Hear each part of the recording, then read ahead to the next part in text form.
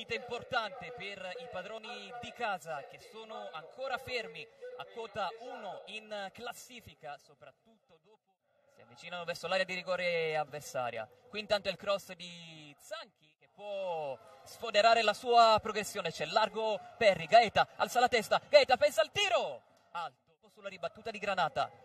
C'è però Capece sulla tre quarti, prova la conclusione, strozzata, Diop in posizione regolare. Il gol di Abu Diop al diciannovesimo minuto. Tanto per uh, Tirelli il tiro strozzato da parte di Zampa. Mentre fischia Zucchetti, con dei passi Tirelli, che parte! Intanto attacca Tirelli che riesce a girarsi, il velo, poi Marchegiani prova a calciare col destro, troppo Tirelli che può dare qualità alla manovra del Rieti.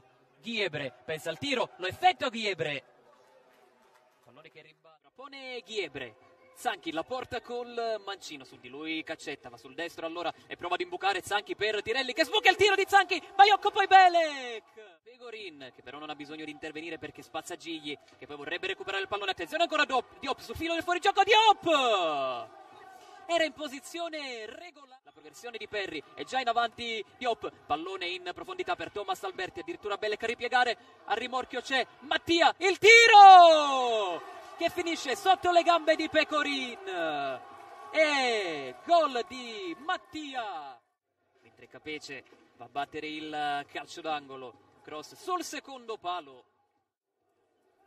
Questo è il quinto confronto fra Rieti e Paganese. Rieti non ha mai perso contro la Paganese. Intanto qui il tiro.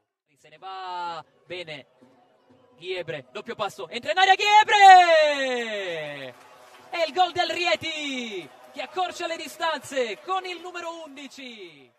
Tirelli, aria affollatissima, quella della Paganese con tanti uomini, tante maglie, mancino sul secondo palo di Tirelli, sponda aerea, Zanchi, c'era anche Pegorin a saltare, era però l'ultimo pallone giocabile della partita, finisce qui, la Paganese sbanca il...